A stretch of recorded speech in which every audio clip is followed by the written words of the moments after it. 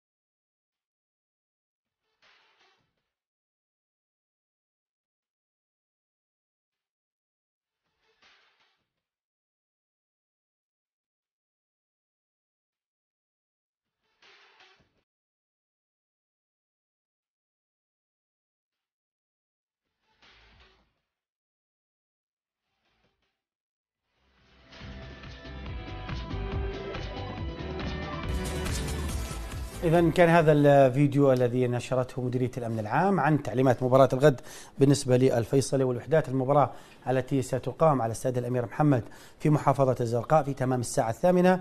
الجمهور بإمكانه الدخول إلى أرضية الملعب اعتبارا من الساعة الرابعة قبل أربع ساعات من بداية المباراة لتسهيل دخول جمهور الفريقين. كما شاهدنا جماهير الوحدات ستكون دخولها من البوابة رقم أربعة. بينما دخول جماهير النادي الفيصلي من البوابة رقم اثنين. جمهور الفيصلي سيكون على يمين المنصة وجمهور الوحدات على يسار المنصة كذلك بالنسبة للدرجة الأولى والدرجة الثانية مع 2700 و2700 لكل آه، درجة أولى لكلا الفريقين و1800 أيضا في الدرجة الثانية لكل فريق بالتساوي مع 75 تذكرة أيضا خاصة يمين وخاصة يسار. وبالتأكيد الأسعار التذاكر حددت الدرجة الأولى أربع دنانير. الدرجة الثانية ثلاث دنانير الدرجة الخاصة عشرة آه، دنانير و يعني التعليمات كانت واضحة الكل يلتزم لا أحد يحضر إلى أرضية الملعب بدون آه، تذكرة ويلتزم بالبوابة المخصصة لجماهير كل فريق. نذكر الفيصل من بوابة رقم اثنين وجمهور الوحدات من بوابة رقم أربعة. كابتن عماد خان كان وأنت المدرب السوري واللاعب الفذ السابق في في, في الثمانينات خلينا نقول التسعينات. والمدرب ألفينات لا ألفينات. والألفينات يلا. بصراحة يعني هل ما نشاهد مرات من خروج عن النص في مباريات كرة القدم يحتاج هذا ال هذا ال هذا ال هذا الشيء ولا ولا في مبالغة؟ وأنت في لك كلمة دائما كنت تحكيها بتقول أنتم بالأردن يعني محظوظين بمستوى بمستوى التحكيم بكثير من المستويات. واموركم جيدة في كرة القدم الأردنية. فهل تستحق مثل هذا هذا التوتر والتشنج؟ شهادة عربية بأسمع. كابتن أنا بدي أحكي كلمة كلمة حق. أنا أتمنى من جميع الأطراف الخارجية لا حدا اليوم يعني يصطاد مثل ما يحكوا بالماء العكر. وحدات وفيصلي شاء من شاء ابى من ابى من أجمل الكلاسيكوات اللي بتصير أجمل الكلاسيكو ببلاد الشام. هذه نقطة. وسادس أفضل كلاسيكو على مستوى الوطن العربي. المغرب نعرف الرجاء البيضاوي الوداد البيضاوي أهلي زمالك اتحاد العاصمة السعوديه مولودية وهران السعودية الهلال والنصر. سادس هذا قولا واحدا. اليوم جمهور جمهورين الفريقين وحدات والفيصلي يعني علاقة وتيره بنشوف نحن مباراة المنتخب تلاقي صف إلى صف خلف منتخبهم بنشوف نحن علاقة اللاعبين أكثر من مميزه سواء على الصعيد الشخصي من خارج صحيح الملعب صحيح. أو على صعيد المنتخبات. بنشوف اليوم علاقة الكوادر الإدارية والكوادر الفنية لا بتروح بتشوف- بمقهى بكافيه بعض. سهرانين مع بعض. صح. فبالتالي ما حدث.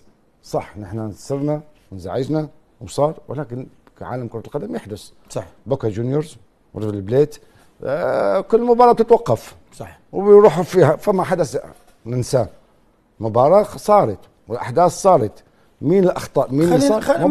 راحت. انتهينا. وهذا شيء طبيعي. يعني نحن, شيء طبيعي يحدث بالكلاسيكو يصير نتيجة الشحن. وهذا حلاوة الكلاسيكو إنه يكون في إثارة في ندية صح. وفي قوة. أنا بتمنى بكرة جمهور الفريقين اللي عودنا. وحدات وفيصل لعب مباريات كثير وأنا كنت أحد الأيام مدرب لفريق الوحدات وخسرنا مباراة نهائي الكأس مع فريق الفيصلي. بالدقائق الأخيرة وطلعوا الجمهورين ومبسوطين يعني وما في أي إزعاج وما في أي مشكله والفريق اللي, اللي أخذ الكأس تكرم ونحن فبالتالي يعني اثاره المباراة تكون. بالمستوى المستوى الفني وبتشجيع الفريقين البعيد كل البعد عن أي إساءة للجمهور الآخر كلام طيب من من مدرب قدير بالتأكيد إحنا بنشد إيدنا على على إيدك وبندعو ال ال ال تروح تشوف المباراة، المباراة بتوقيت جيد الساعة 8 الأمور طيبة إن شاء الله متعة للجميع في مباراة الكلاسيكو. من المتوقع غدا بأن تكون المباراة بقيادة الحكم يعني خبر ما زال غير مؤكد. عمر المعاني أحد أكثر الحكام ربما الآن ترشيحا لقيادة مباراة الفيصلي نعم. والوحدات. بالتوفيق للكابتن عمر المعاني إذا كان عمر أو إذا كان أي حكم ثاني بتمنى له التوفيق في قيادة آه، مباراة القمة بين الفيصلي والوحدات. كابتن الآن اذهب فنيا لشغلك نعم الفيصلي والوحدات هل وصلوا فنيا لل- للجاهزية ولا أبو ولا تميم. وين؟ وأبدأ وأبدأ خليني أبدأ بالفيصلي عشان أعطيك الفرصة تتحدث باللي بدك إياه. تماما قبل ما أحكي دائما مباراة الوحدات والفيصل فنيا لا تخضع لمعايير نكون. منطقيين. جميل. إثارة المباراة حساسية المباراة الضغط النفسي بيصير على اللاعبين أحيانا تزول الفوارق الفنية أو تميز فريق على حساب الآخر. من حيث المنطق فريق الفيصلي أجهز حافظ على هيكليته حافظ على مدربه القدير صراحة. أنا شايف جمال أبو عابد من العام الماضي بيلفت الانتباه. أسلوب لعب الفيصلي أكثر فريق أقنعنا بغض النظر أقنعني أنا شخصيا أنا اقتنعنا بالفيصلي بأسلوب لعبه. وبالطريقة اللي اللي, عم ينتهج فيها سواء الحالة الدفاعية أو الحالة الهجومية مقنع.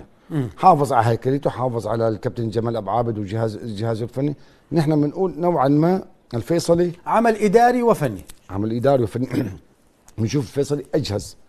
ولكن إذا بنلاحظ نحن اليوم الوحدات عفوا حتى اذا لاحظت مباراة الوحدات والفيصل اللي صارت ببطولة القدس والكرامة جميعنا شو كان حتى جمهور الوحدات كان يعتقد إنه المباراة حتروح لجمهور الفيصلي. الفيصل. سهلة. ولكن إحنا شفنا بالمباراة صار في تكافؤ بالسيطره بالسيطرة. كابتن مفاتيح القوة بالفيصلي.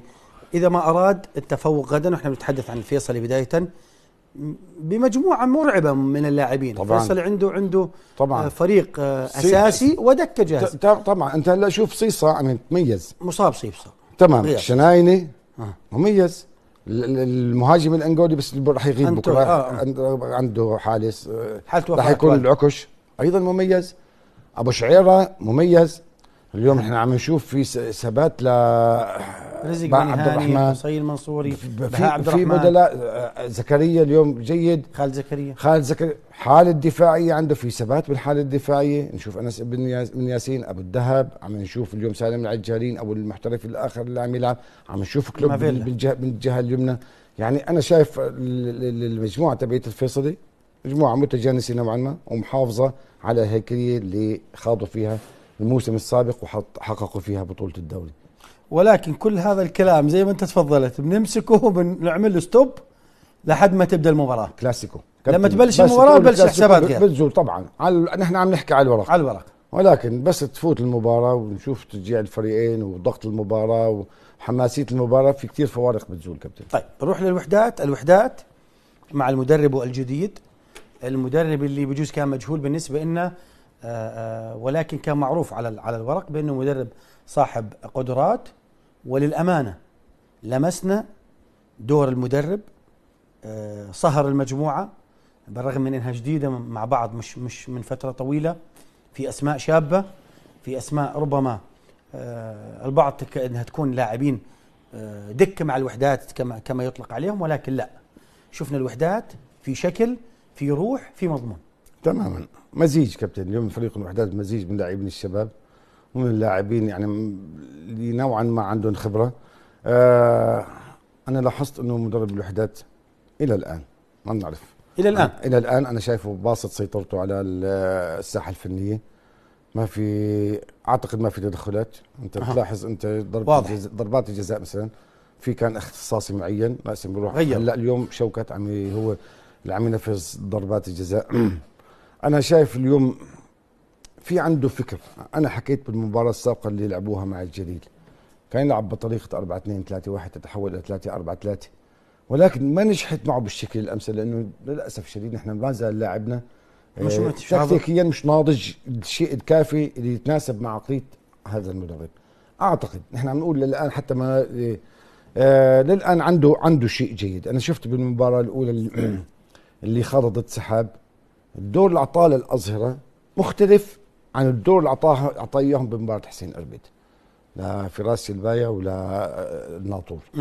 الدور اللي أعطاه لشوكت بمباراة السحاب مختلف عن الدور اللي أعطاه بالمباراة مع حسين اربد فبالتالي فكر المدرب دليل إنه المدرب عم يحاول دائما يستخرج من اللاعبين أفضل ما عندهم عم يحاول يشوف قدراتهم عم يحاول يتكيف معاهم عم يحاول دائما يرتقي باللاعب يعني عم يحاول يرتقي باللاعب لمستواه مش هو عم ينزل لمستواه عم يحاول يجيبهم لعنده وبالتالي إن شاء الله نحن نقول إن شاء الله طيب. تثبت نظريتنا وتثبت كابتن ما المطلوب من مدرب الوحدات غدا؟ هل هو مطلوب منه إنه ضغط عليه يعني أو السؤال بطريقة أخرى، هل الضغط أكبر على مدرب ال- ال- الوحدات أو الوحدات أم على الفيصلي؟ كيف سيدير مدرب الوحدات ال- المواجهة؟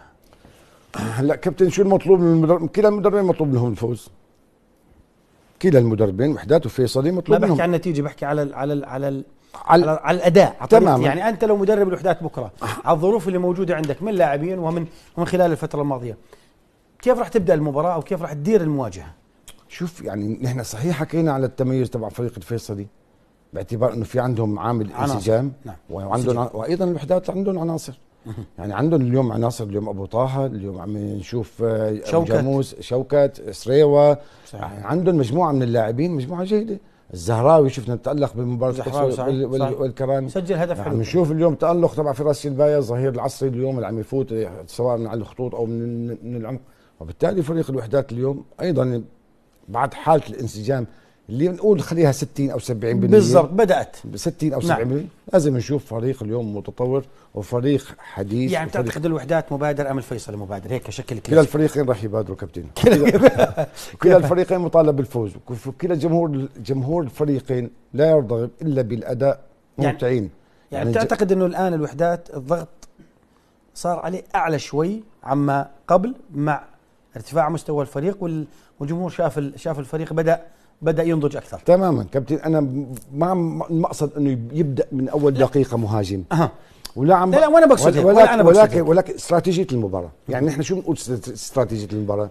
تكتيكات المباراة المتبعة. هلأ في مدرب بيتبع تكتيك كل 10 دقائق ربع ساعة. في مدرب كل شوط في مدرب كل نص ساعة.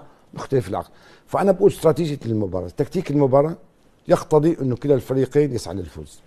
طيب كابتن بأريحية وبدون يعني تشنج عادي هيك بأريحية. شو بتعتقد نتيجة المباراة بكرة؟ هيك توقعك أنت على ضوء ما شاهدت وتشاهد في الفترة الماضية. أنا بالأمنية ما بقدر أقول لك شو أنا شو لا. الأمنية أنا ما لناش علاقة. بالمنطق والله صعب صعب. صعب. بالمنطق كمان صعب. صعب كابتن صعب. بعد ما شفنا ببطولة القدس والكرامة صعب إنك اليوم تتنبأ بمباراه وحدات وفيصل. اليوم دور الجمهورين دور كبير.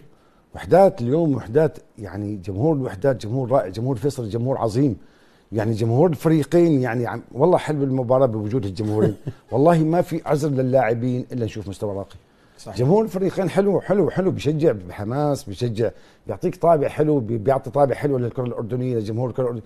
فبالتالي اليوم أن إحنا نتمنى كلا الفريقين يرتقي لهذا الجمهور. يعني أرجونا مستوى حلو. يعني بجوز أرضية الملعب يعني نحن نقول مثلا مش تعطي. أكيد مش العشب الصلي اما بس كلا الفريقين لازم نشوف أعلى مستوى وأعلى رقي فني موجود عند كلا اللاعبين وكلا المدربين.